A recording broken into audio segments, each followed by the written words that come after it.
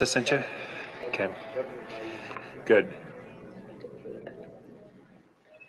Man, I'm worn out just setting up for the class. Whew. Lisa and I were sipping coffee this morning. Oh, well, okay, we're live. Let's just start. I'll have to uh, come back to that story later. Thank you for tuning in, you all. This is Watters Garden Center, our summer series of garden classes. Today's class is very specialized. It's not for everyone. Not everyone wants fruit trees. Some want low maintenance. Some just want privacy. Just some just want their hot tub better protected. Some just want fruit trees. Anything edible is off the charts this year because I think the cost of produce, just food, food in general is skyrocketing. And you can grow this stuff in your backyard super easy. So we're going to go over the fruit side of things. Trees. I did pull some vines, some uh, brambles, berries, and some pomegranates, figs, kind of the, the edible things I kind of brought together.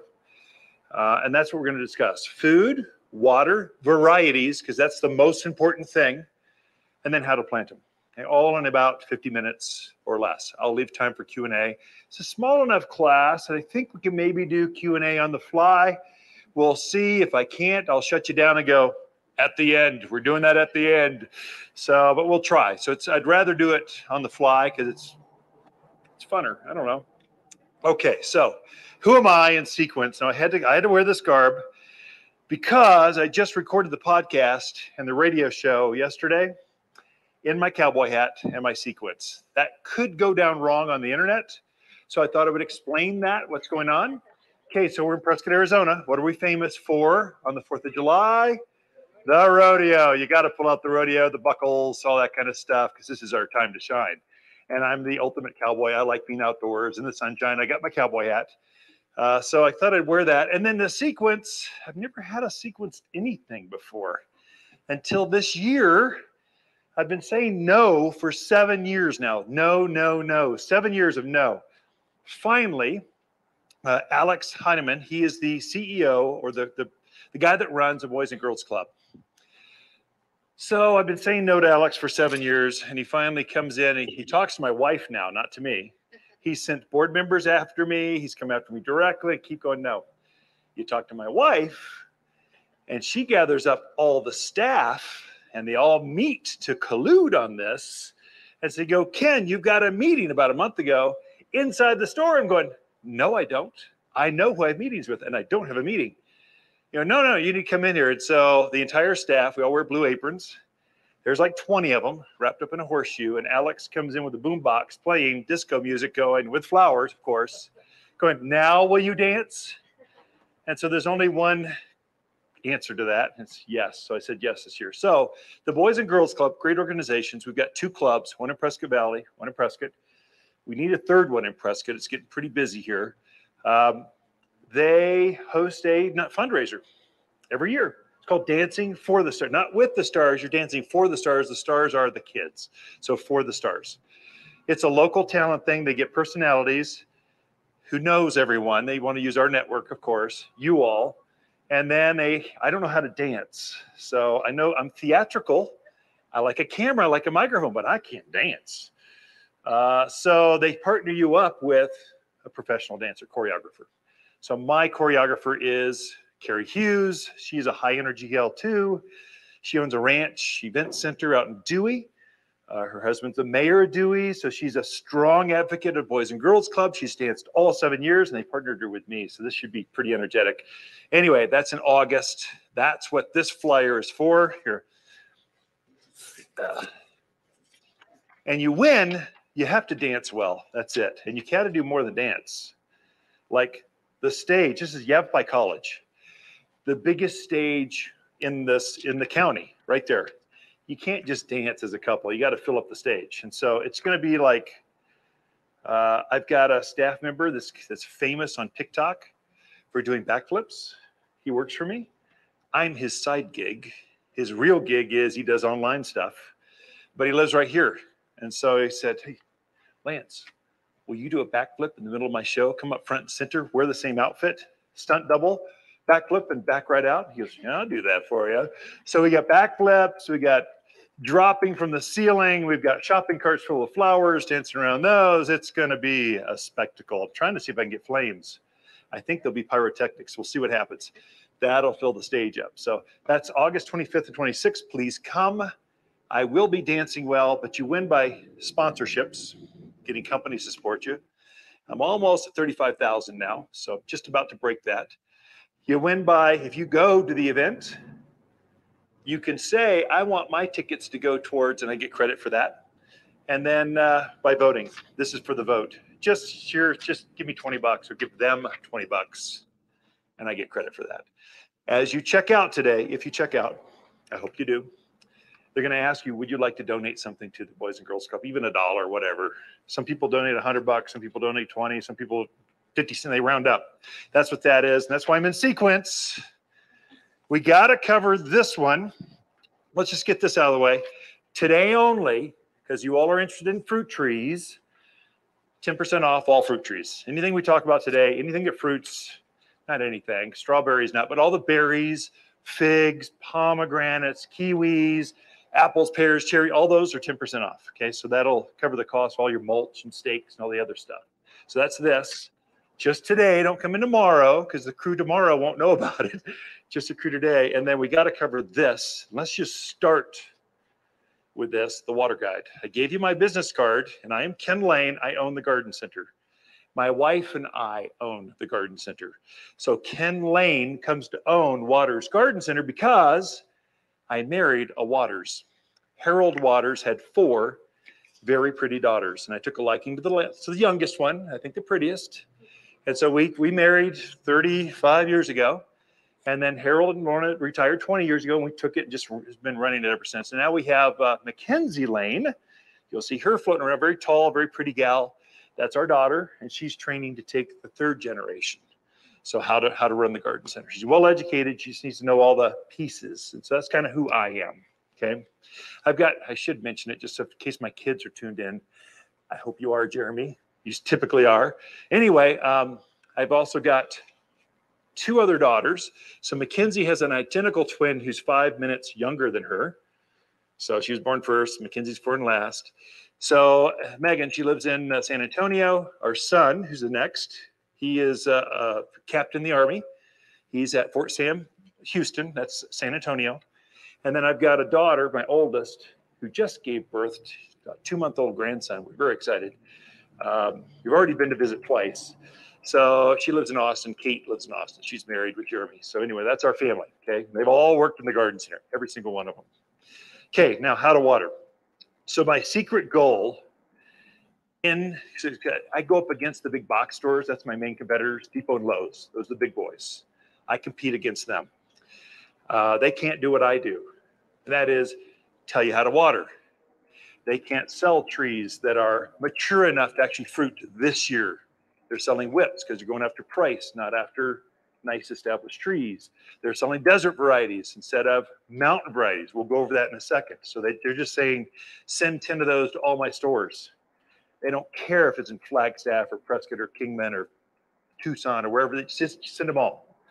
We only sell varieties that are for here. And they can't tell you how to water. I can. My goal is to get my logo in every single irrigation box or garden journal in the county. And so this is meant to tape right there. And you'll see in the front, it says tape inside irrigation box because you'll forget. Now, when do I, when do I turn this off again? When do I turn it on? And so this is meant to help you. So establish trees, you'll see the top line, Establish trees, shrubs, roses, vines, things with big roots. You're watering established things once a week for a long time if you're using drip system. So drips are drip, drip, drip, micro irrigation. You need to run that emitter for about an hour just to get one gallon of water on it. Well, a big tree like this is a five gallon tree. It needs about five gallons of water a week.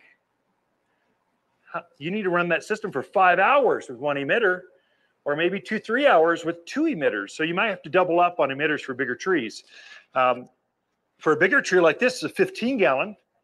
This is instantaneous. What is this? Apple tree. It's already forming apples. So trees need to be about seven years old before they're old enough to start to fruit. There's a maturity thing. You got enough roots and, and fruit and wood to start producing that fruit for trees. Berries are less, but fruit trees need to be at least five to seven years old before they start to. So if you planted something in the past and it took like three years to, to grow, to start fruiting, that's why. It was an immature tree. It just wasn't old enough.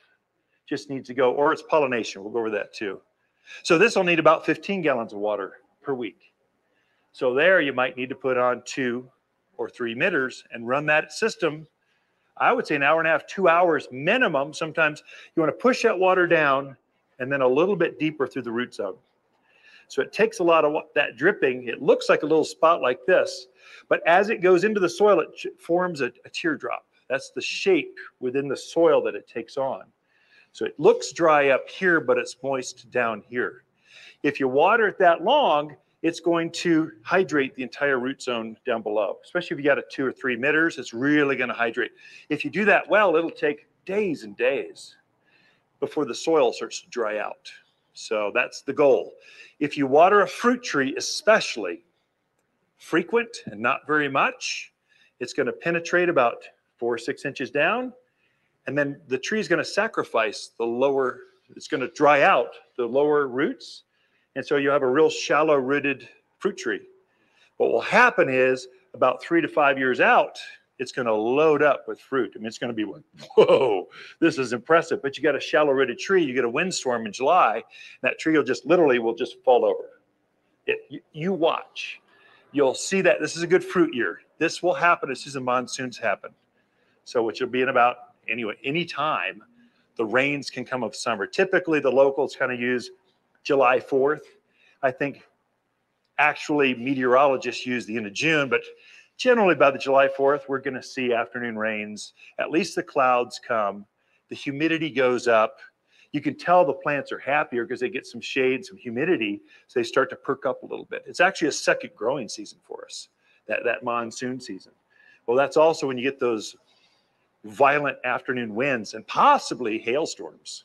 So you kind of want to watch out. You want a deep rooted plant, not a shallow rooted plant. The secret is less often but longer, deeper. Okay, so that's what this is kind of saying. Hose, perfect. How do I water with a hose? So a good good test on this is one inch of water will penetrate approximately six inches six inches of soil. Okay, if it's sand, it's a little bit more. If it's clay, it's a little bit less. But on average, one inch, one to six. That's how far it'll deep. So that'll help you as you put your your water basin around that. Oh, I've got a deep rooted how many inches of water do I need on the top of this? Oh, about three inches. That'll penetrate this whole thing plus a little bit more. Obviously, tomatoes, that's far less. Berries, it's far less because they have a little bit shallower rooted. But most of these fruiting plants have a pretty substantial root structure. And so you want to plant, you want to water deeper. That'll help you. Yeah.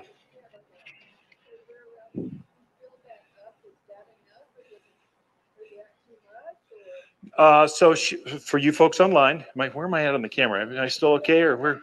It's like a little bit off. Um, so how she's she's she's taken her plants. She's got some pavers around it, and so how much should she fill that basin up with the pavers? Um, I don't know. I can get you close. No one can tell you exactly how to water. All I'm doing is getting you close. Every, in fact, my front yard is different than my backyard. I got this super heavy clay in the back, and it's a north slope. So I've got this big two story house, classic overlooking the dells. They dug into the side of the hill, and like you got to walk down a flight and a half of stairs just to get to the backyard. So it's shaded. And so that area doesn't dry out as quickly as the front yard, which is more raised beds by the streets, driveways. It's hotter, radiant heat, and the soil is different. As that soil band goes, it, it changes. But I can get it close. I use this right now. I've got most of my backyard is nativey kind of things. So I'm watering about every 10 days, those things. Because I want my desert willows to keep blooming and looking fantastic. I know they can go on their own, but I don't, I'm a gardener. I'm controlling these naturally, these natural plants, and I want them to be rock stars all the time with a little bit of care. They can be over the top. So my desert willows can bloom nonstop from now through fall with just a little bit of care. So, so a little bit of water and food goes a long ways. And so my front yard is glorious, like you spend your time out front because it's an oasis. It is not native. It is high water, high use, high beauty. You just want to sit there and watch the hummingbirds and butterflies because that's where they hang out. That's the front yard. It's a smaller area, but it's been designed to be this little private secret garden. So I've got my spot that's needs more care, and then I have my other areas where we just entertain, and they better be ready to go like now because I'm not spending any time to take care of you. The yuccas will keep blooming for the next three months. Just keep doing that. Uh, so butterfly bush, they just keep blooming. They're back there in the front yard. It's petunias and geraniums, that kind of stuff. In my for my edible things, I do a lot of containers and even more raised beds. My soil is up in the dells, uh, up in the high, um, Eagle Ridge area, up above the high school. That is the hardest gardening I have ever done, and I've farmed all over the county. That's the hardest I've ever done. I've got it. I've, I've killed a lot of stuff but I figured out how to do it. And that's kind of the stuff that we share on, on Saturday classes. And so what I've done is I've got like a peach tree right now that shades my hot tub. It's in a big container, but it's a standard size fruit tree. It's got fruit on it right now. And so it's been in there for 10 years or more and that's my second tree there. I had a I had a cherry tree for the first 10 years and finally outgrew its space. This one's starting to get it's got a substantial trunk on it. Uh, so starting, I might have to replace it again and start over again. But 10 years in a container pot, that's pretty good. So I'm I'm happy with that. Just a second. So when you do that, plant it in potting soil. Just don't don't take soil out of your garden and put it into a pot. The trees won't be as happy with that. What we start these in is Watters potting soil, especially the smaller ones. As they get a little bit bigger, we'll shift them into something not quite as good, but water potting soil is made for pots. It's the science is in potting soil. Compost is there's no science. Pile it high, let it compost for about a year, turn it a couple times, screen it, bag it up, and sell it. That's mulch. That's different. Potting soil is an exact amount uh, organics, uh, peat moss.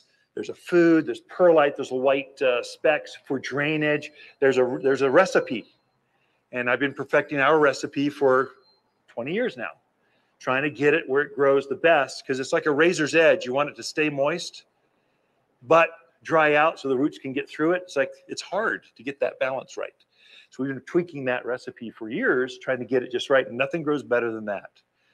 Watters potting soil. We put it side by side every few years to see which brand does best. Ours always comes on top. So anyway, that's potted potting soil. That'll get you years down the road. Okay. Okay, so let me go reset. Are we done with watering? We can answer. We got you. So just think one inch. Your drip system is not made to water your plants. Your drip system is life support. That is it. It gets you through nature's natural water, which is the life giving force of all landscape plants. Drip simply bridges the gap between it's a life support, getting it just enough until the next rains come. So we've got a little dry spot, but we haven't had seen any moisture for what a month. It'll be a few more weeks. So you got to get it through six, eight weeks. And then finally the monsoons come. And that's the rain that's really going to make the plants grow and do well. Okay, so that's what this is for.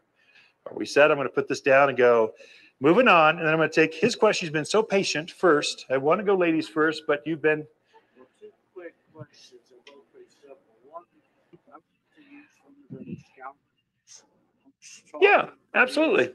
Yeah.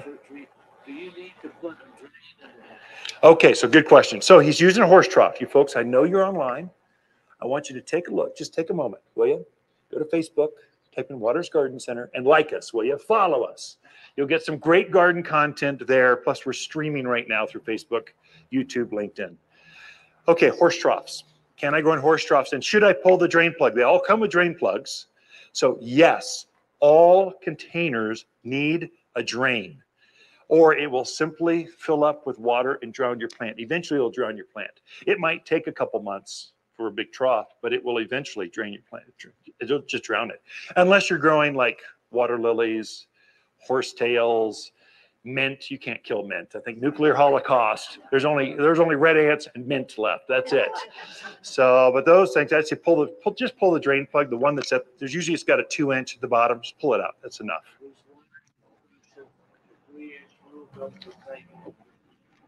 So containers, she said, is this, it this is it the same for container gardens as it is for in the ground gardens? So potted plants are a little bit different. So this is mainly established plants are for in the ground, and I've got all the yard to root out into. If you're confining the roots in a horse trough or big pot or container, the rules change. Hold on.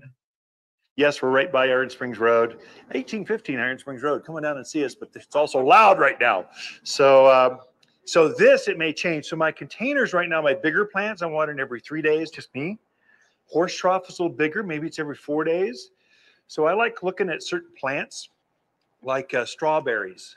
They're really good. I'll use that as an underplanting for some of my trees because they just look pretty over over containers, and they're like they're beautiful and they're delicious. So I use those quite a bit to my underplantings of like the peach tree has strawberries underneath. It pulls the pollinators, it looks pretty, it keeps going. Uh, but anyway, they're also they're crybabies. If they get dry, they start weeping and complaining. So I go, oh, okay, that's my cue. It's been it's been four days. It looks like I'm on a four day cycle. As we get up into the 90 degrees, which we're due any moment, we sort of need it to be 90 for it to pull in the moisture. Kind of there's a heat thing that happens. Anyway, it might do it every two or three days.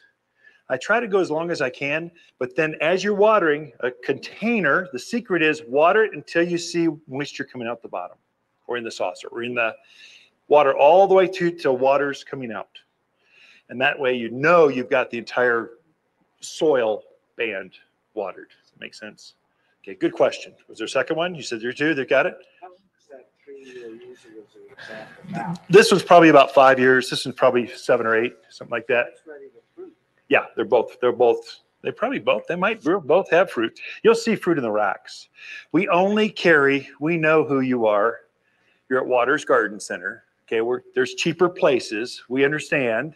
We're not, we don't want to be that cheaper place. We want to be the better place. So all of our trees, we're not shopping for price. We're shopping for age and fruitability right now.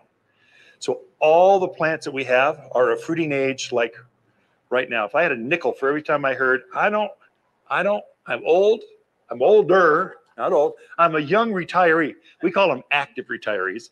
We're active retiree, and I don't want to wait anymore. I got time and money, and I don't want to wait till next year, but I want now. So if I had a nickel for every time I heard, I want it now. I don't want to wait for it to grow. I want it now.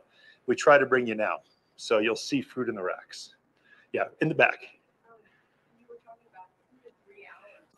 Yeah. Yeah.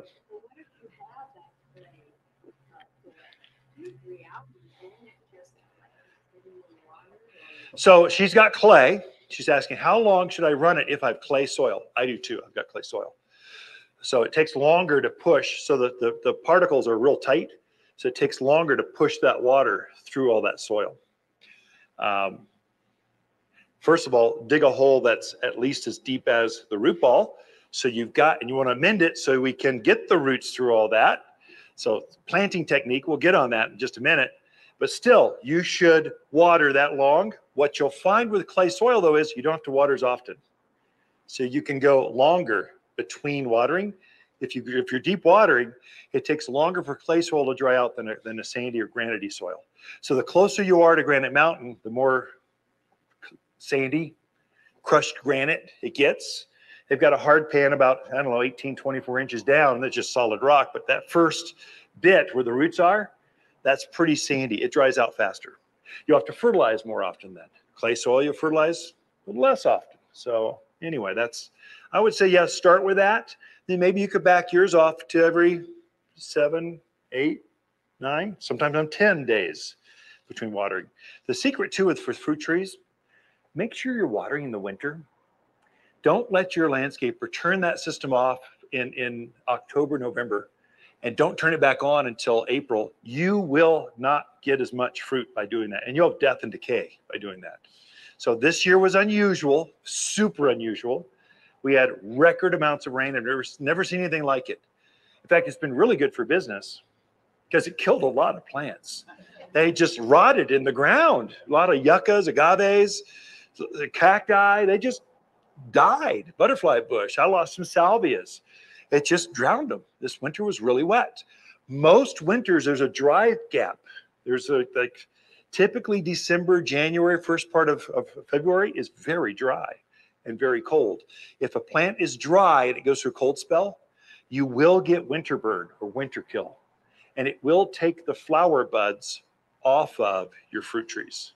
And so it won't fruit as well the next spring or have less blossoms or the tips will not be died back. So if you simply water, and that's on that card, water a couple times a month. In the winter, if we don't, if we get a storm, you can cut one of those out, but at least hydrate it. And here's the insider tip. It's just my name's Ken. We're just friends. We're, we're, we're neighbors talking over the back fence. And this is working for me. I think it'll work for you. Okay. If I if I hear a real cold snap is coming, I go out and I hydrate my plants before the storm gets here. And you'll know what it is because oh, the weatherman just gives, he spooks us all. Oh my gosh, people run to the grocery store. They take all the toilet paper, all the soup, all the, there's empty aisles. You know what the event is. They're, they're hunkering down for like a month long siege. It's like they're in Minnesota or something. It's only going to be a two day event. Yeah, but it's still before that event happens, I try to hydrate all my plants because a hydrated plant goes through cold much better than a dry plant. It's kind of counterintuitive, but there's antifreeze up and down the structure of the plants. As long as the water is there, it can keep it flowing. It keeps that antifreeze active. If it gets dry, it starts to bring that antifreeze down towards the heart of the plant to keep the heart alive, and it will sacrifice the outer edges. This is really important for hedges and that kind of stuff. So, because they're they're really thick and full, like red tip photinia. It we're, they're noted for winter burn if you don't water them because the tops will just burn right off. Luckily, most times you whack them back, fertilize them, and they'll come back. But just winter watering, game changer for edible things. Also, watch your watering more carefully as plants have fruit on them. They're more sensitive. If they lack some moisture, what they will do is they will take the moisture out of the fruit to keep the mother plant, to keep the core of the plant alive, and they'll shed that fruit. Now, I am seeing in my own peaches mainly right now. Uh, my peach trees are dropping some fruits. So we call it June drop. Very, very common. Don't worry. It's natural for especially pitted fruits. The bigger plums, nectarines, apricots, peaches. It's very common for them to drop some fruit in June. And what's happening is it's the the uh, tree is calibrating for the moisture that it has, how much fruit it has. It's, it's shedding some so it can keep keep the keep the fruit alive. So it's taking the weak ones, dropping them so it can keep all that energy into the bigger ones. Now, some plants like apples and pears, they don't drop enough. You probably need to prune even more of those off. Just thumb prune. So you have an apple, they'll cluster up in four or five, three, four, five, six apples on a cluster. There's no way one branch can handle six fruits. Impossible. So what you'll end up being is a whole lot of little tiny apples, like crab apples. Know, what happened? What's going on? If you simply thin out all but maybe two of those fruits, take the weakest ones, just pick them right off and leave the remaining ones, all the energy goes into, and you get a nice big apple. That's the secret. So peaches are kind of that way. You can have way too many peaches, and all you get are pits with a little bit of skin on them. If you thin some of them out, it helps you get a bigger, nicer, juicy peach to it. So thinning June drop is normal. We always get calls going, oh my gosh, something's going on. It's June, where it's okay. Watch your watering. And then maybe thin some more out. So I'll just kind of leave you with that. Yes, something on June drop, really? You're back on watering, aren't you? ah, so good. How does she adjust for monsoons? So I do an entire class of nothing but drip systems, and we go an hour, sometimes longer. So, uh, so monsoons. So don't worry. Don't adjust your clock for natural occurrences. A monsoon rain. So she's asking for you folks online because you didn't hear that. How does she adjust her clock for monsoon rain? Okay, don't. Just keep it going most of the monsoon rains that we get come down so it's torrential. I mean, it's just all at once. Most of that water runs off downstream. It doesn't doesn't saturate in. The winter rains, snows, they tend to they tend to soak in really really deep. The monsoon rains don't. It's very rare. Unless you get consistent afternoons out more and more and more rain, I just keep my drip system going. What I actually look at is I look at my my rain of monsoon as a way to push my natural irrigation down even deeper. Because it's going to push my natural moisture that I, that I irrigate with a little bit deeper and it's and it's hydrating all the surrounding soil. So the plants will be happier with that. So i don't i try not to adjust it. So and then don't play with times. Figure out how long it takes you to water those plants that that yard then never adjust that time again. You're only going to play with how frequent that takes a variable out this is like rocket science degrees the, the irrigation it's like it's crazy man stuff just figure out how long it takes to make your plants happy and then play with how many days can I go before I have to run it again? Then you'd only deal with one variable. That's way easier than, oh, and I need to adjust to 60 minutes instead of 90. And oh my God, and then I'm only at three days instead of five. Oh my gosh. Go frequency. Just focus on frequency. It'll, it makes life easier. Did I, did I answer, answer that enough? Yeah. Don't adjust it. Oh, yeah. Thank you, Ken. Appreciate that. So we have a couple handouts for you. Do I have those? You've got them. I've got. A, I wrote a fruit tree book. That's for local varieties. This is not just some downloaded Google garb. I didn't use chatbots to do it. It's actually our information for us. It's our varieties. And the key thing is we cover watering, planting. Key thing is pollination. Which tree needs, I put together a chart that says Honeycrisp needs this variety to cross pollinate. Okay, that'll be a big help for you. A lot of times our fruits do not um, and I'm going to give that to you with your email. So you'll see a link to that. It's a free book. It's like 50 pages. It's just fruits, just us. Also, how to plant, how to water. Although you all have the water business card, but folks online, you're seeing those links already in there in the chat area. Go ahead and download those directly. And I had one other. Oh, I know some of you are using contractors to help you install. I put I'm going to give you my contractor guide. Listen, I want it planted like this. I want this many emitters. I want it put space on either side. It's the directions we give contractors on how to properly plant, stake a tree. Okay. So I'll, I'll give that to you too. And help if you're planting yourself, you probably already know because we're going to give you the actual handout guide. Contractors are they take shortcuts. They want to get in, they want to get out, and they don't do it right. This will help you guide them correctly and go here, just put this many emitters for this size, for this size tree. I think it'll help you. Okay. For you, those of you doing it yourself, it might help you too. I don't know. So that's what I'm going to give you here. It'll be a digital format. Um, and it'll be in your inbox by what do you think? Monday, Ken? Something like that. So in a couple days. So maybe today, depending on how busy I am. We'll see. But Monday at the latest. Okay. Okay, so email, that's what that's for. If you're part of our garden club already, it's not it's not all 12,000 people are going to get this. Only you're going to get it. So I don't want to pollute everyone's inbox that doesn't care about fruit trees. Just, just you all care.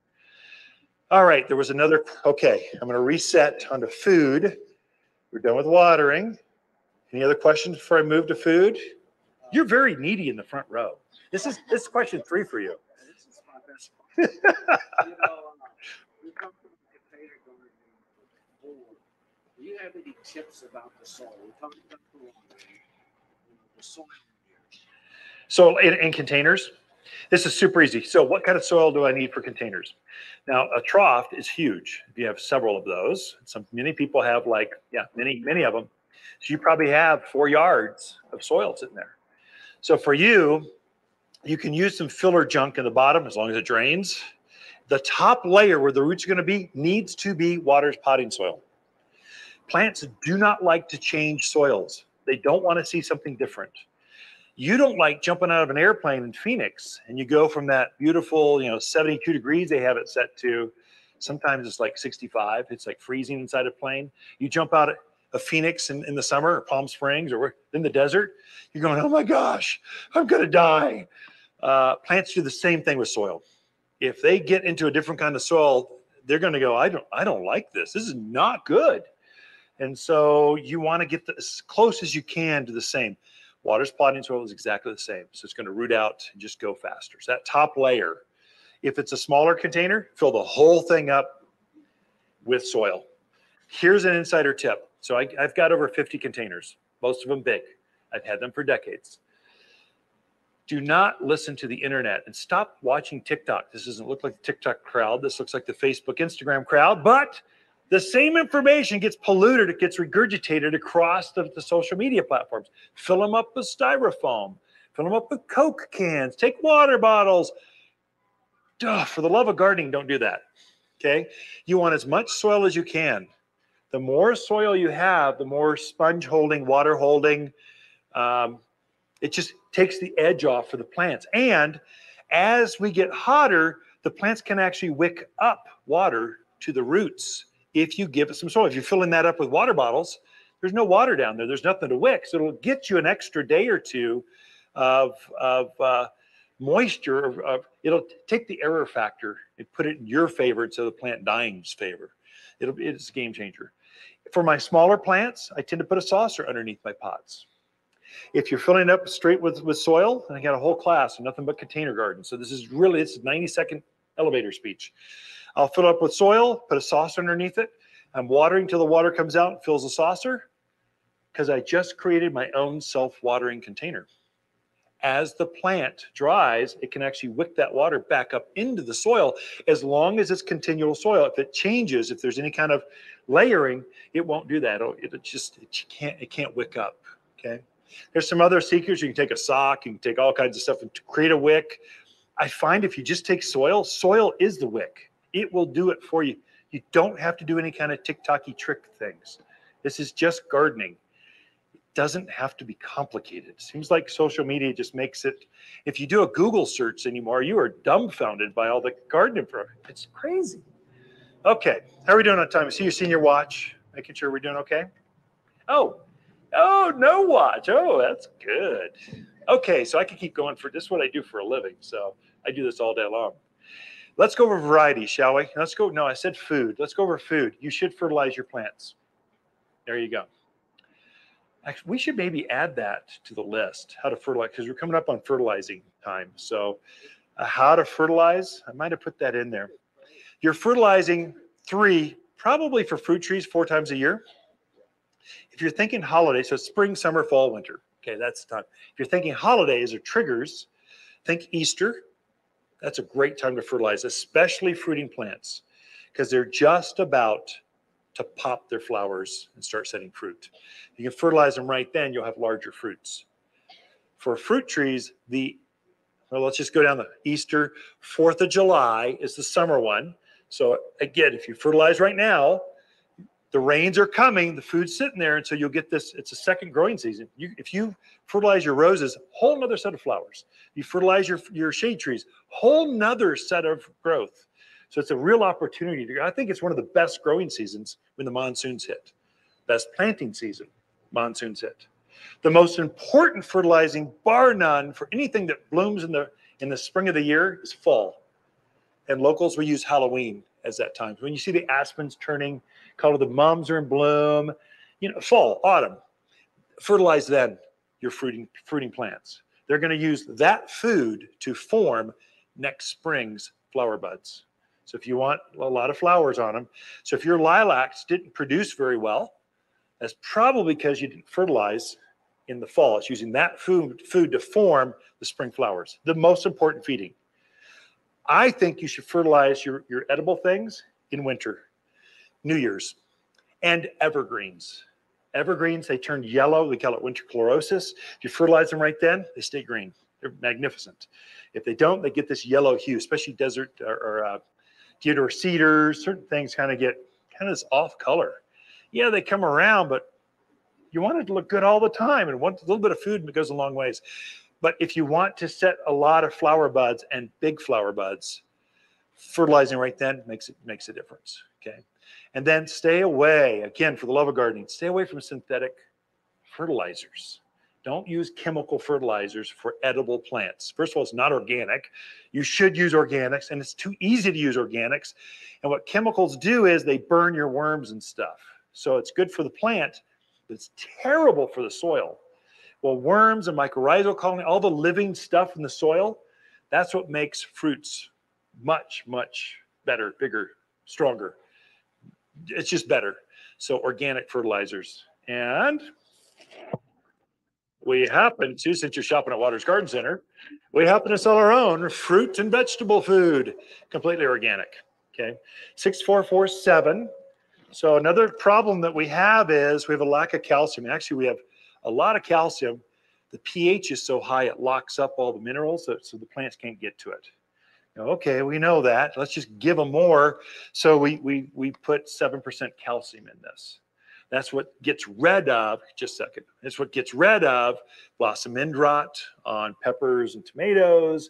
It helps your squash to form without dropping off, and it also gets your better flavor size on fruiting like apples, pears, cheap peaches, that kind of gets gets you bigger, sweeter. The flavor comes out with calcium. So we just we know that about our soil. So this is made for here by us. It's our recipe, our formula, and it's completely organic. Okay. So yes, question.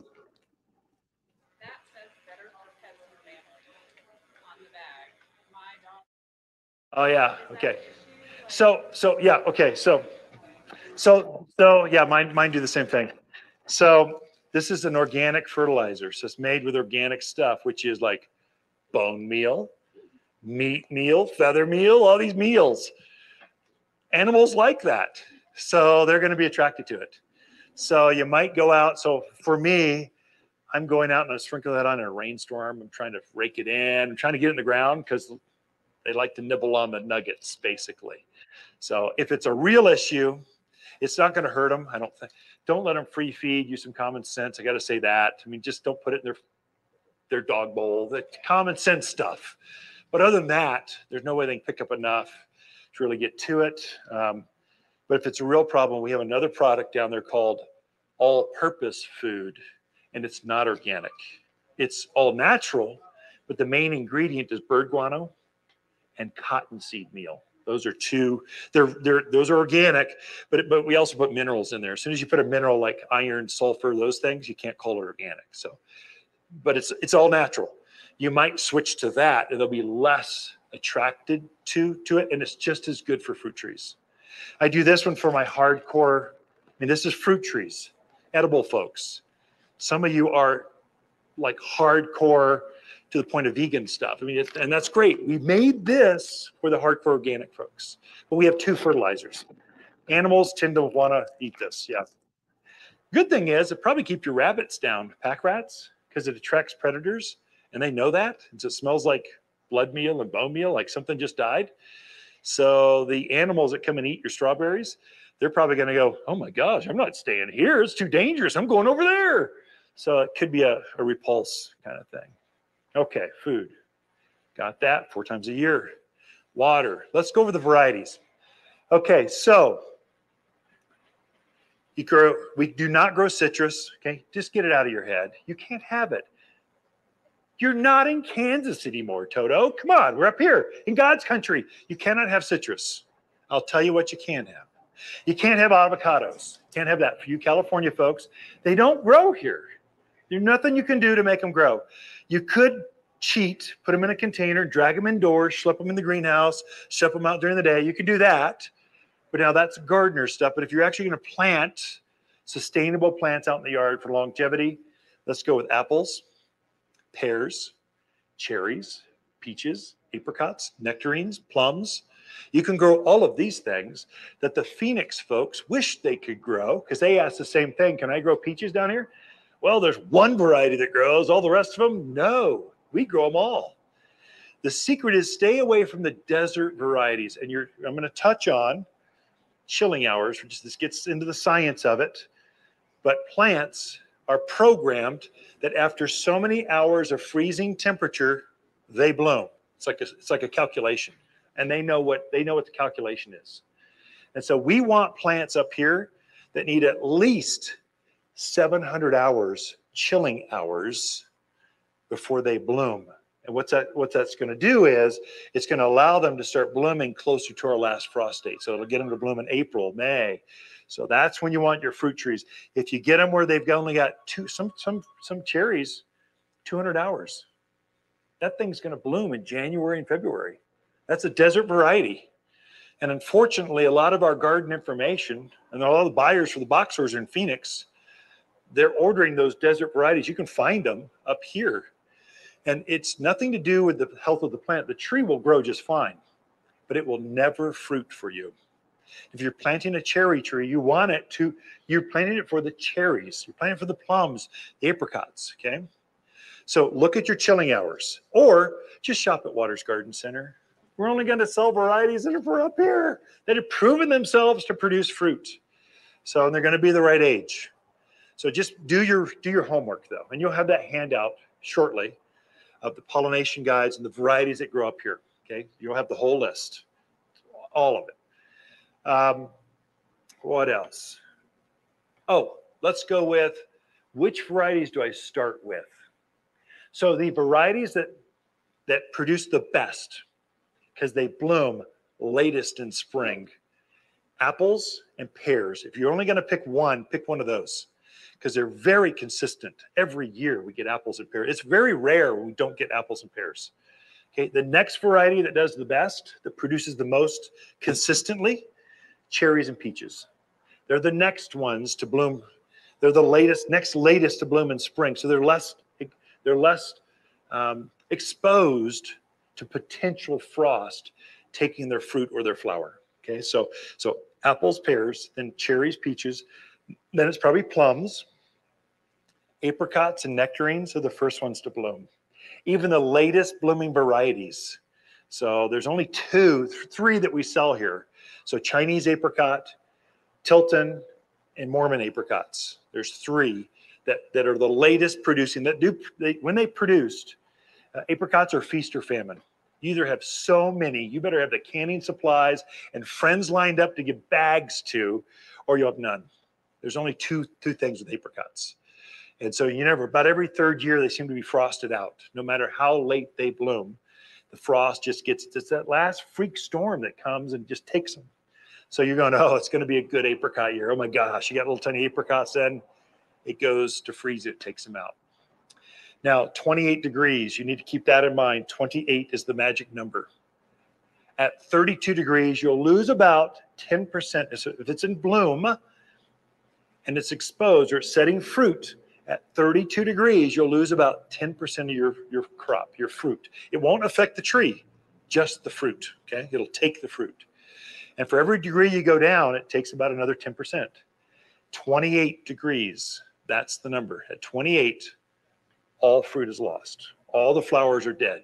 All, all. It's not going to have fruit that year. It'll be a beautiful shade tree, great fall color, great. You'll you'll enjoy taking a sip of iced tea, watching the sunset underneath the shade, but it's not going to have fruit.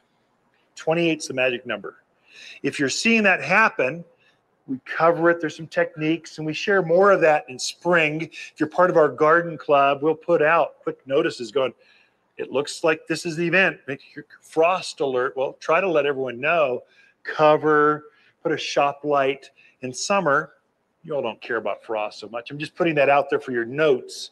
28's the magic number. Don't let don't let the tree go below 28 while it has fruit on it.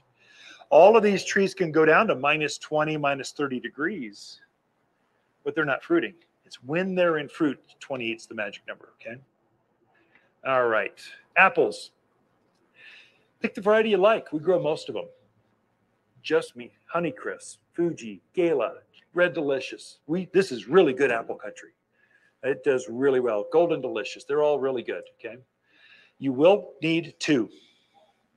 They need cross pollinators.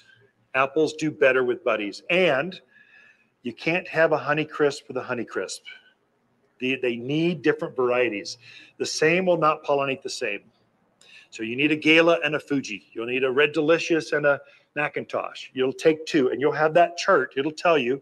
Or if you're coming in, we've got the chart on the end of each rack because we want we want to help you too. We want to make sure we get you the right so you're getting more. Now we do have some varieties, and I think I brought one here. Here. So we do have some. We're kind of famous for a couple different things. One basically I get bored with plants.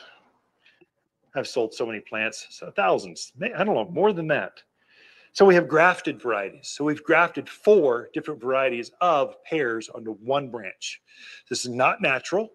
This is a, a pear rootstock. First of all, we've got grafted roots. We're taking a rootstock that's designed for clay soils. Most of us have clay. So we're getting a rootstock that adapts to clay better. Then we graft onto that root the variety that we want. So we get an exact clone of that exact, the perfect plant, take a cut, out, cut into that, and then we grow it. And as it grows up, we're grafting different varieties onto that same branch. So we can get four different varieties. If you've got four on the same, we're grafting the varieties that pollinate each other. This is perfect for smaller backyard, just off the backyard. If you just need one tree, but you want a pear, pears need doubles. They need two different varieties. Some yards can't take on two varieties. This this will get you out of it. Plus, it's just fun. The other beauty of this is you got four, you got reds, greens, yellows, all on the same tree, and they don't all ripen at the same time. So you can harvest all of the the the, the Bosc, and then you can go to the Bartletts, then you go to the so you, you're not harvesting like five bushels all at once. It's one bushel a week over the next month. That's another beauty of, of grafted varieties. We do that for pears, apples, uh, pitted fruits like uh, uh, uh, apricots, and we can cross pollinate or graft on different pitted fruits. So apricots, peaches, that kind of stuff on the same tree. That's something you'll see over there. The other one you'll notice is there's different sizes. So there are three, three basic sizes of trees. There's standard. If it just says Honeycrisp, that's a standard size tree. A, a, an apple tree is going to get about 25, 30 feet tall. It's like a miniature shade tree. So standard shade trees goes up 70 feet. So that's cottonwoods, willows, sycamores. Those are big trees. Uh, apples are half of that size. Pears are half of that size. Then what you have is semi-dwarf. So we're taking, we're controlling that with the rootstocks. We graft on a different rootstock. It keeps it a little bit smaller. Semi-dwarf will be about 20, 30% smaller than its traditional standard size. It's still a tree, but it's just a click down. So it's easier to pick fruits, basically. You can take a fruit picker and just get to it, but it's still going to be a tree. And then you get genetic dwarf.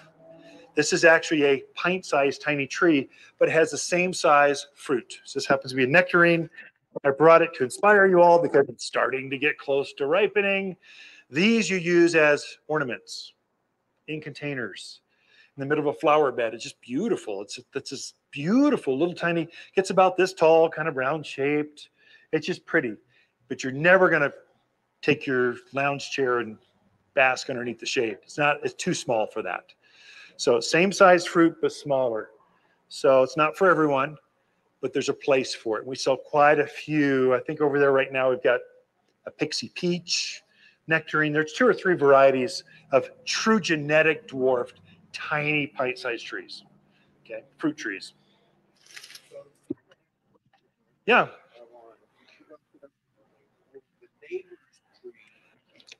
Oh, that's good. June, great, great question. Thank you for asking that. So, how far do plants, how close do plants need to be to help pollinate each other? So bees are bees and moths, they're doing the work. Okay, honeybees are the number one. Okay, they're cross pollinating and they are dumb as mud. Okay, they do not, they get derailed with anything.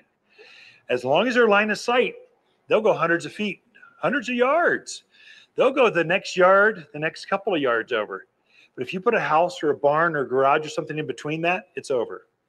So just don't put a structure between the trees. And I find the bees, they seem to do the work for you. So the other secret is pollination charts. Make sure they're blooming at the same time. That's what that chart is. They're blooming at the same time so the bees can help pollinate each other. It's mainly for apples, pears, and cherries. They really benefit from pollinators. There's a few varieties. I think Bartlett pear produces fruit by itself, so it's self-fruitful, but it will actually produce more fruits and larger fruits if it has a pollinator buddy. So it actually will produce more if you can give it a pollinator. So, but there are some that'll produce by themselves. Cherries, there's a, there's probably three or four varieties that are self-fruitful. But they do better with. So the classics are black tartarian and Bing cherries. They're like the sweetest, most delicious dark cherries. They melt in your mouth. My water must be close to lunch or something. So my mouth just watered. Uh, peaches, they're all, every single one of them, self fruitful. Apricots, every one of them, self fruitful. One, that's all you need. It's got male and female on the same plant. Okay. That'll be that'll be your but great great question. Hopefully we answered that. So anywhere without a without a structure in front of them. Let me start with here. Let's cover a couple things. Let's go blueberries. It's the hardest ones to grow. Never start with blueberries. Blueberries like very acidic, moist soil. Well, we have very alkaline, dry soil. So these you can grow, but it takes a gardener. I grow them in containers or raised beds so I can control the soil. And I want a lot of peat moss because peat moss is drains really well and it's very acidic. They love that. And so in my containers, it's a pretty plant. It blooms, it fruits, it's got everything you want for container garden. So they're just pretty. Uh, berries do tend to, blueberries specifically, tend to do better with buddies. So they'll two different varieties. So here I've got Northland and Patriot. Those are two classics that that cross pollinate each other, and you get more berry. You're just seeing they're they're pollinating each other right there in the racks. So they're they've helped each other just pollinate. Those will be ripe in another I don't know a couple weeks, two three weeks, maybe ripe right now. We'll see. I wonder if they are ripe. Let's see. Oh, another another couple days. I brought blueberries because everyone loves them. They'll be a little bit smaller fruit, but they are sweeter than you've ever tasted. They, they'll put Costco's berries to shame. It's just so delicious. But what I would start with blackberries and raspberries. I brought these two varieties because they're the ones that I grow. Not that they're the only varieties, but they're thornless. So some blackberries and raspberries you're picking the fruit and it looks like you've been in a cat fight by the time you get the fruit picked. And they're quite delicious. They're very large berries, very sweet. So little, I'll take the grandkids out. We will eat until we are, our face and our hands are just black from picking so many berries. You can have bushels, not bushels, bowls and bowls of berries. It's very easy to grow. So I've got Boysen, Marion, Black, um, a little bit of flavor difference. I think it really now this now I'm going to make the county Marion County very angry. I apologize. I can't tell a difference between Marion berries and blackberries. They're the same. One comes from Marion country because they call they're very proud. They were if they were figured out here, I call them Prescott berries, that kind of thing. So it's more of a regional thing. Like what's the difference between Cabernet and and Zinfandel? It's the region they're grown in, some soil difference. So um, I grow them all. Raspberries do really well here. That was a Canby raspberry. Again, it's the only one that is thornless. Raspberries are really aggressive. They have tiny little thorns on them. So you always kind of get them in your hand. So I go with the thornless one. They, they don't produce, I find, quite as well but I'd rather have that in a bigger bramble than I would thorned varieties that are just harder to pick. It's just ease. They're all pretty. They're all pretty swell. Another one too, you might watch. So berries, just a second. Um, they come on. They they fruit on second year wood. So this is what I taught the uh, my staff at the staff meeting last week. So this is a raspberry. This cane that grows up, or maybe this is blackberry. This is a blackberry, Marionberry. This is a long cane that comes up. That cane that grows this year, it's not going to produce. It's growing that cane out to produce fruit next year. So berries produce on second year wood. So a little trick that I do myself, this just again, I'm just Ken. It's worked for me. I think it'll work for you. Um, as that cane grows, right now it's starting to flower and fruit. Just as I see a, a little bit of color on that berry, I'll hang some some bird tape on there to scare them off because they're eyeballing them just like you are. They're waiting, and they'll come and they'll peck every single fruit to see which one's the best. They're never content.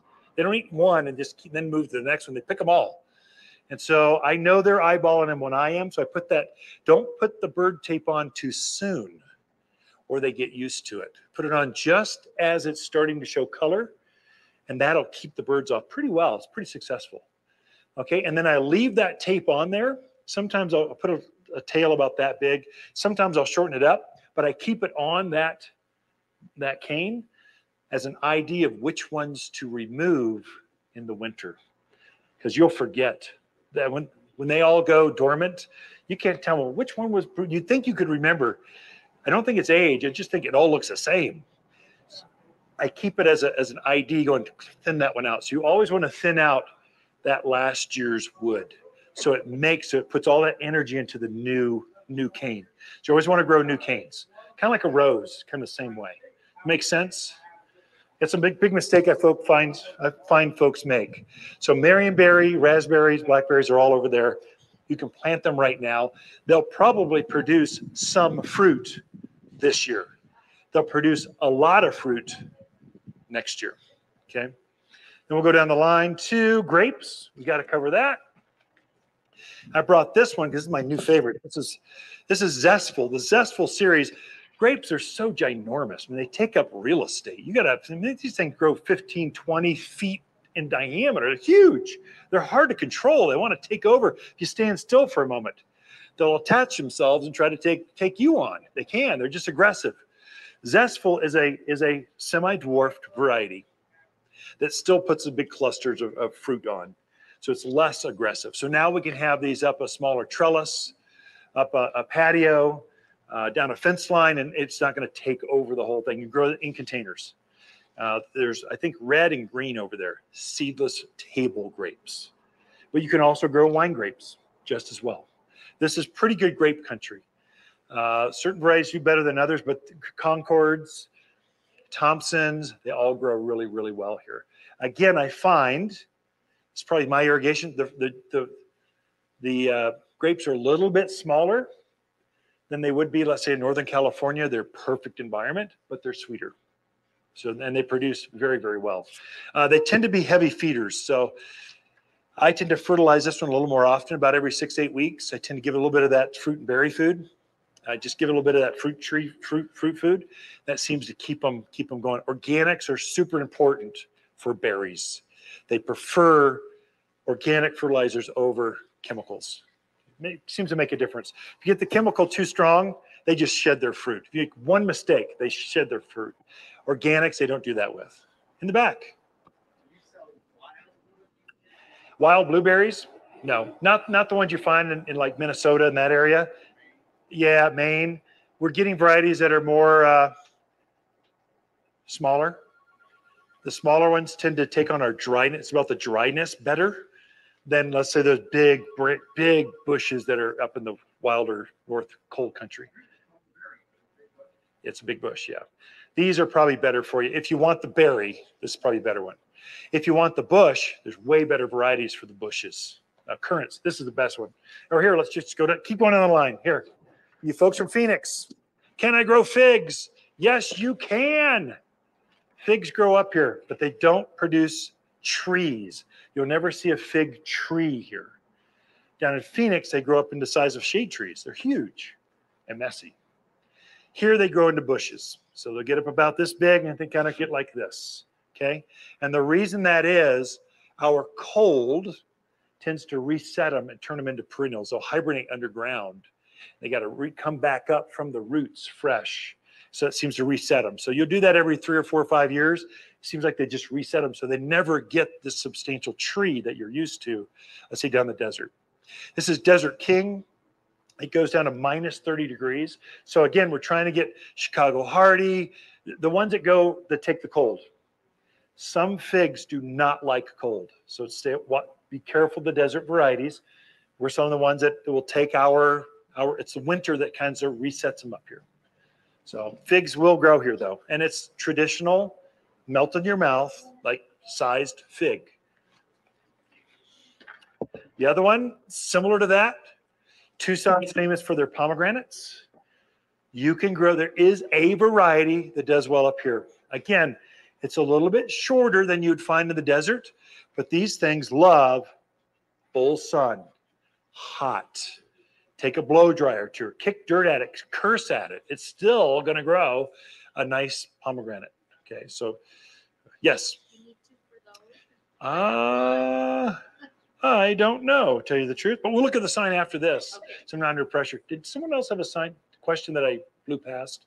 So, yeah. I've got a question. Can I? Yeah. Oh, yeah. Great question. Great question. So, uh, I should have covered that. So, standard, semi dwarf, dwarf. Do they all pollinate each other? And the answer is yes. They pollinate just fine. As long as it's the variety that you're looking at. So, a semi dwarfed um, Honeycrisp and a standard size Gala, those are going to pollinate each other just fine, no matter what, no matter what size. Yeah. Yeah. Um, what's the advantage of, of like, like you've got three, three right here. Yeah. Oh, good. Okay, so we have a full-on tree right here. It's an apple tree, starting from apples. What variety is this? Honeycrisp. So we got a Honeycrisp apple. It's setting fruit. Why wouldn't I just keep it right there in the pot? You could do that for about a year.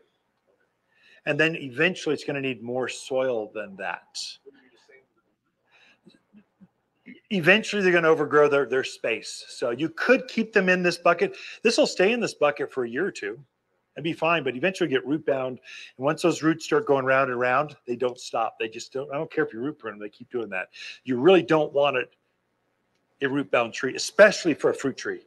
So none of ours are, are that's a carryover. You're going to see that a lot at box stores because they're they're taking that. There's a hundred of them left. They go, I'll take them all. From last year, they've already started to spiral. No matter what you do, you can't get them to undo that.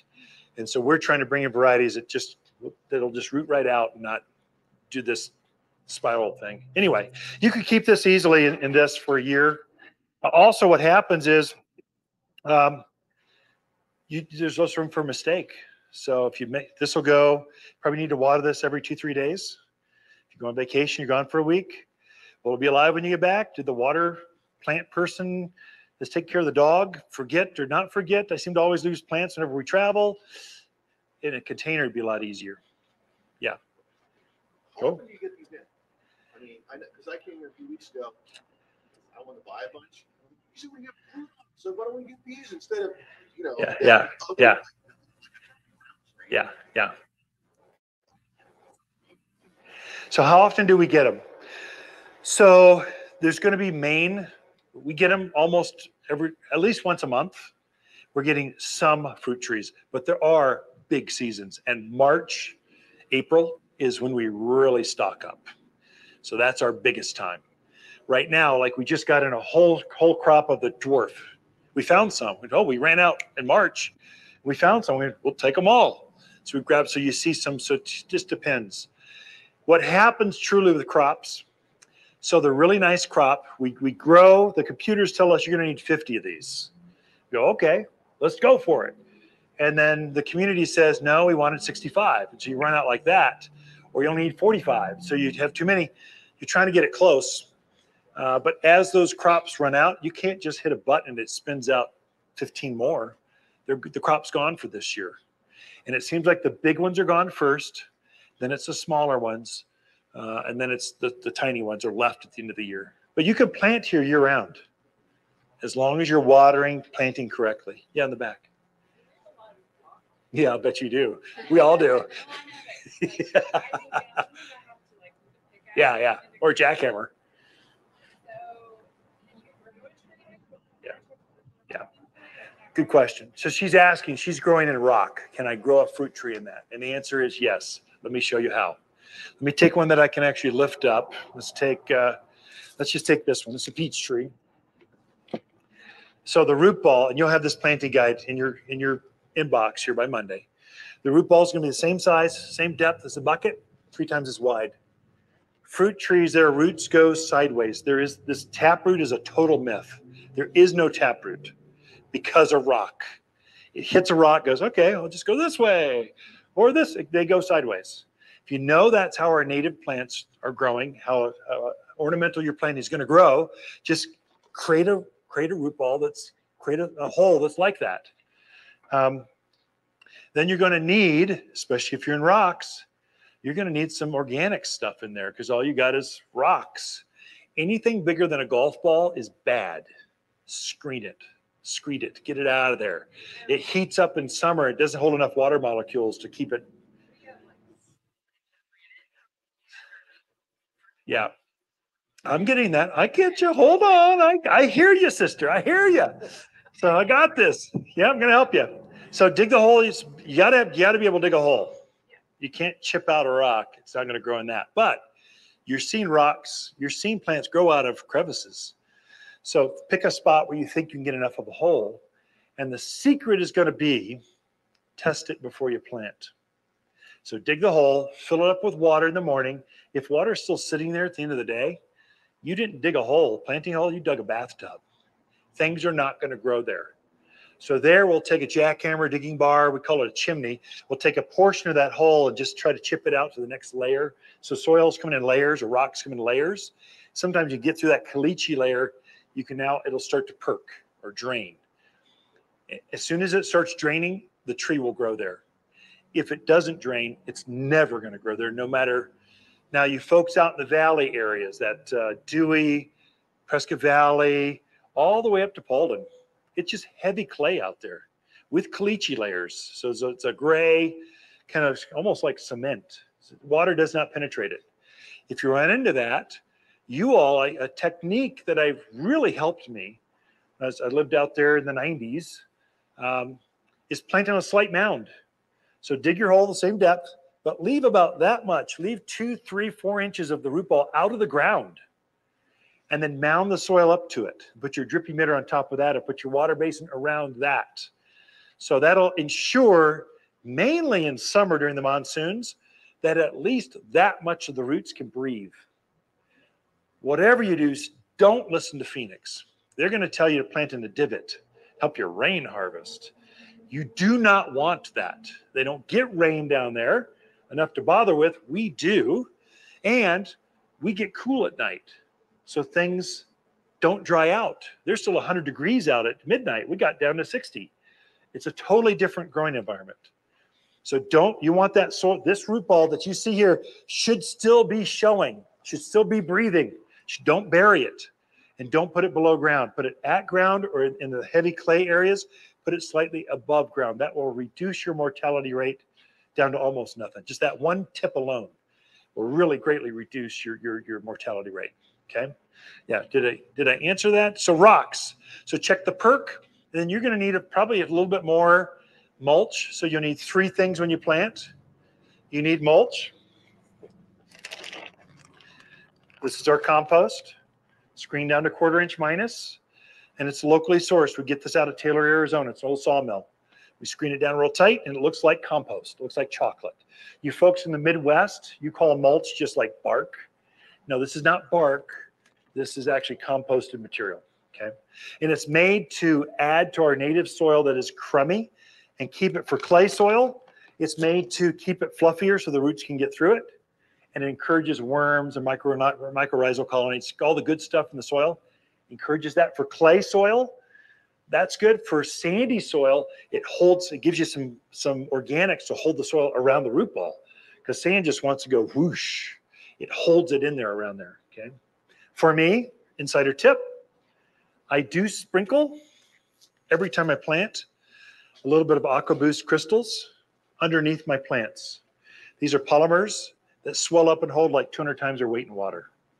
Then we've infused them with mycorrhizal colonies. That these are the these are uh, now we're going really deep. This is like gardening 501. But anyway, the mycorrhizals attach themselves onto plant roots and extend the roots out. There's a symbiotic thing that happens, but it really helps fruiting plants.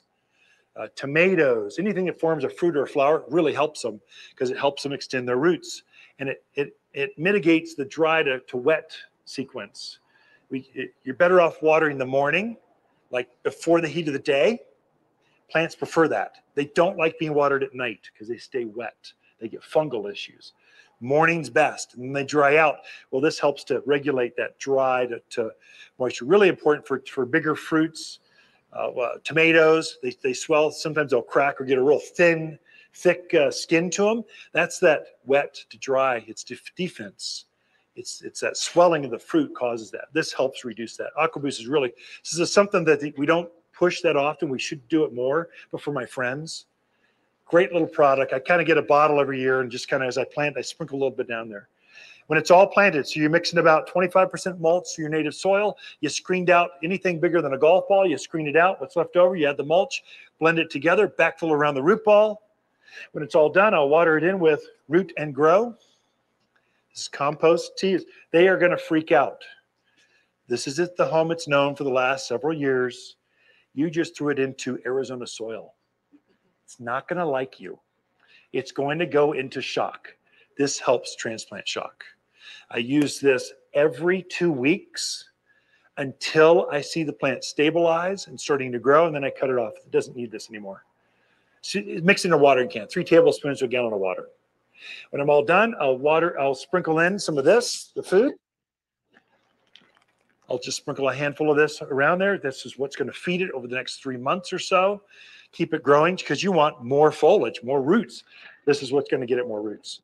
And that's your three things. So mulch, food, root and grow. I would say Aqua Boost, the crystals. It's it really helps. If you're in a windy spot, if you're in the valley areas at all, you're going to need stakes. Because if that tree starts to grow, and it, it'll it'll grow to the northeast because we get a prevailing southwest wind that happens when it's in, when it's leafed out. It'll start to lean to the northeast. As that tree loads up with fruit, it's very likely to fall over. You want it growing straight, straight as an arrow, straight up. Don't let the wind push it. If you see that, put a stake on it. We try to make it easy for you. So I brought my stake kit because we know we need to sell more stakes. Two stakes, a V-strap and some wire, enough to stake a tree. 19.99. We're trying to get you to get more because it's so important. Also, another tip I've had: stay away from the small stakes they wiggle out of the ground.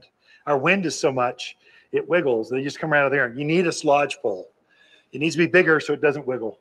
Just and then you get in, should it be northeast, southwest? I don't care where the stake is, just put two stakes. Tie it once. We want it to move, but not lean over and grow to the northeast. So stakes, if you're in a windy area, some of you aren't. You've got a courtyard, it's not a big deal. You're in a backyard where it's just you got the walls to kind of protect it. Don't worry about it. If you're exposed, probably you need to stake things for one year, maybe two for a really small thing. Some of your neighbors, those the tree is holding the stakes up anymore. That's too long. So you could take them off usually after two years. What I tell my customers, clip off the if you're not sure, clip off the the tie between the stakes. See how that tree performs as that spring wind hits. So you could easily retie it if you want, but if it goes through the first if it goes through May and it's still fine, pull the stakes out, break them off. Driving the stakes in the ground, that's the hard part. So leave them in until you're for sure no, but try it. See what happens. Yeah. As deep as you can. So how deep do you put the stakes? I would say at least a foot. If you can go down 18 inches, that's ideal. Uh, but sometimes you can't. You hit a rock, go that far. If you're in clay and you're just worn out trying to get this thing through there, that's probably far enough. So usually about as deep as the root is good enough. That's why you can put them in right after you plant, because you've already dug this much, okay, that's probably getting you close, plus a little bit more, probably enough. Okay, yeah.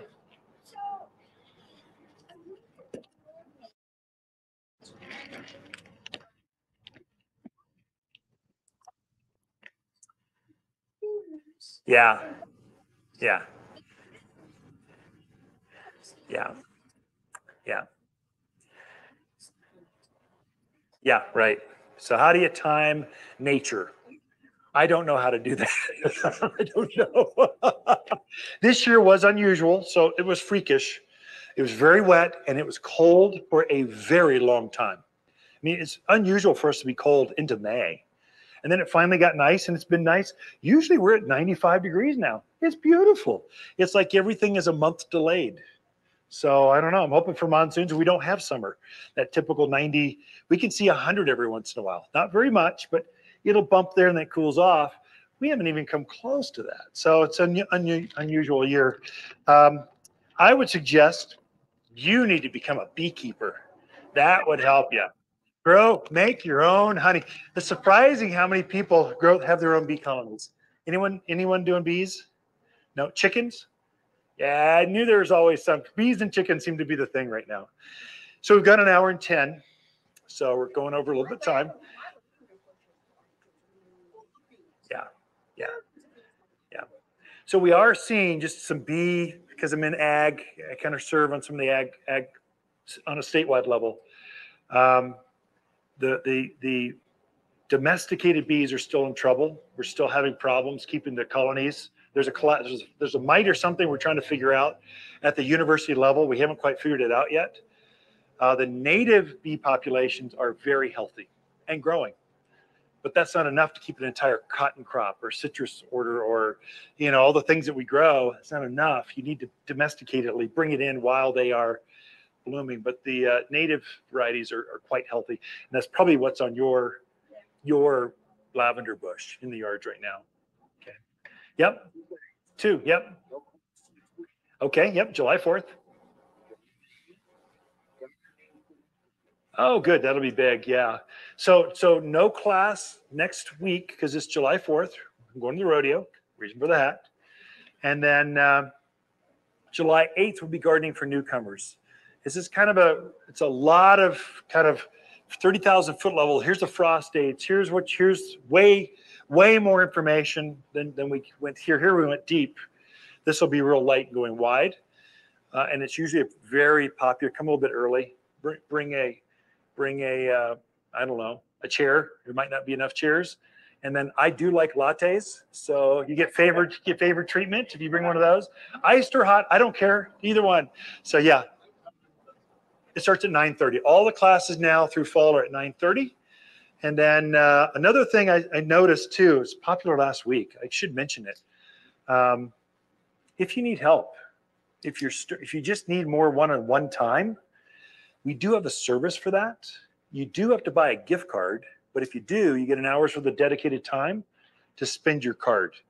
I'm finding my my really smart gardeners that are doing bigger projects, they'll buy a card, they'll come in, schedule a time. Usually it's in the morning. Lunch times is always crazy.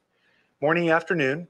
We just have we go through and we help you walk through that part of the yard or line up those kind of trees or get that hedgerow and I'm finding that folks are buying another guarded consult, buying a second one. They're lining up, depending on where they're guarding, what they're doing, they're buying another gift card, mainly just for the dedicated consultation time.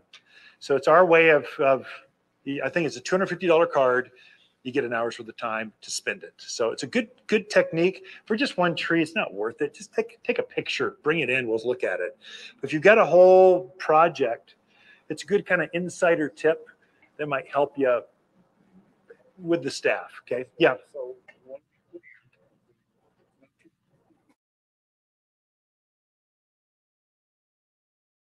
Oh yes, yeah, yeah. If you spend 250 bucks with you, we'll dedicate an hour's worth of time with you. It's not it's not time. We'll help you spend your gift card here. That's what it is. Does that make sense with that? So you're not buying our time. You're buying plants. We're helping you buy your plants. That's that makes sense? And folks are buying multiple of those. We're seeing folks buying three or four or five of those throughout the growing season as they do, and they've got beautiful gardens. So yeah. Okay.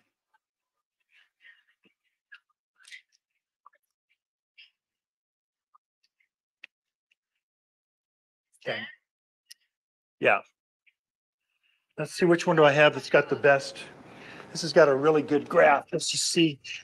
No, you can't see it. Let me see if I got one that's can see on camera. So this is so she's got a peach tree. This is an apple. She's got a peach tree and it's been damaged, probably by winter or bugs or something. And part of it's dead, but it's starting to come up from the roots. Now, that's not desirable the thing that is coming from the roots is a wild variety, typically not a desirable fruit, and you never know what you're going to get. If you just want to have fun and see what's going on, that's great. Gardeners are like that. But if you want that Ranger peach or that Elberta peach or that what was up there, that's not going to be that. So this is coming up from the wild variety, and this is the magic. This is the graft. So I showed this one. This is the this is the original rootstock we're grafting onto. This is the actual graft, and now it's starting to to as that as that trunk grows, this will disappear. It just grows into a big tree. But you'll see this texture change always, where the graft was in here. If it's coming up above the graft, it will be the same variety of peach. So it depends on if it's coming from the soil, not good. Above the graft is good. With pitted fruits, we have noticed it's just a trend this year. There's a real pretty little clear winged wasp. She's cute as can be. It's called a um, peach tree borer. So she lays her eggs at the base of pitted fruits, cherries, apricots, nectarines, peaches. And the larvae hatches and burrows into the trunk. And you'll see, you'll know that you got them because you'll see these bubbles of sap. Or sometimes the sap will run, you'll see running. And typically it's from this level down. It's not up in the tree, it's mainly at the base or the trunk or the main crotch. If you see any sap coming from a tree, be very worried. Come talk to us we can fix this. But if you let it go too far, they'll burrow or they girdle all the li- they're eating the live wood just underneath the bark, the cambium layer. They're eating that. They eat all the way around, the tree will die. Usually it happens in June. So it'll be fine. Oh, I'm okay. Oh, it's fine. It's fine. And that first warm day, it dies in like a day or like a couple days. It just collapses all at once because it was girdled. So kind of watch for that. We've seen that one. We do see some um, um, apple moths. So there's a codling moth, a little tiny, cute little wasp, get moth, can't little tiny little thing. But she likes to lay her eggs on apples and pears. So especially if you're in an area that it's been out there for a while and there's been a lot of apples and pears, that's where they tend to congregate and they migrate very easily onto the next fruit tree. If you're in a new subdivision, it's just you're just new, probably isolated. If you get any worms in your apples or your pears, that's only one thing. It's called a codling moth. And we there's some sprays that we can show you how to keep those under control. It's BT. I think I might have brought some of that. Did I? Yeah, yeah. No, yeah. A couple things. So um, caterpillar killer will take out codling moth and tomato worms. Anything that eats any kind of wormy kind of thing, it takes them out. And it's organic. Uh, we're seeing a lot of, this is the number one seller right now as of this week because of grasshoppers. There's a little tiny black beetle about like this starting to show up on tomatoes and vegetable gardens we're seeing. And so we're starting to, to use this. So we're shifting from organics to harsher things because the bugs are more difficult to kill as their exoskeletons start to get larger. They're harder to kill. You need stronger stuff. This is as safe as we can go uh, this is a replica of an organic, but it's still synthetic. It's not organic, but it's as safe as you can get and still be effective. So it's called indoor outdoor spray. This would be a this would be a, a foliar spray. So you'd spray the, the weeds where the grasshoppers are walking around. If you hit them, they'll die. Uh, if you if they, if they'll eat the grass, they'll die. They'll die, and it has about a week long kind of thing going for it. So we're just seeing a lot of this. Just kind of put it on your radar, just so you know what to look for. Uh, and then you folks that have gophers, I'll leave you with this. We do have a cage it's made of stainless steel, and it's expandable, so it's it's a it's a fine gauge, and it doesn't rust in the ground like chicken wire does. So if you have gophers, they love love love fruit trees. It's their favorite. They're gonna come after them, protect them, or kill them. I, they're an underground rat an old Southern boy. They deserve all rats deserve to die. Just kill them off. It's kind of hard. This is an easy way. It's a little expandable. We've got a one gallon, five gallon, 15 gallon size. It's a big net basically you plant in.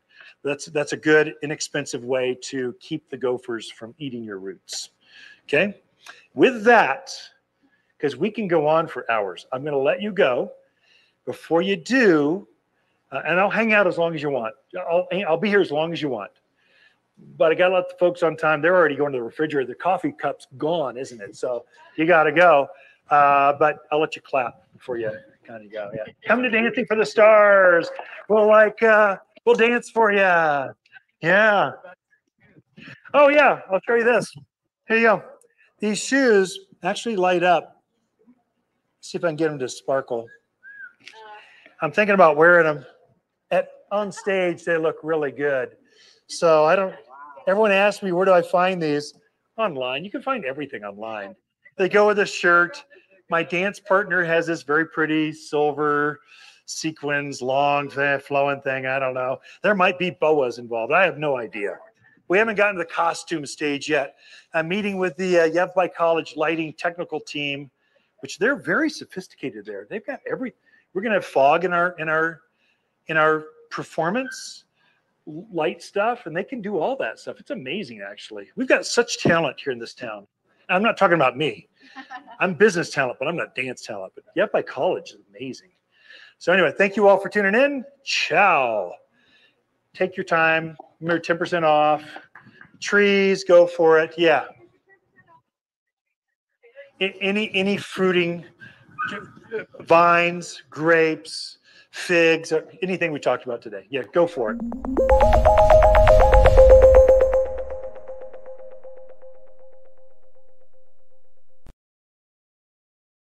Showed it off. I don't pick the dog.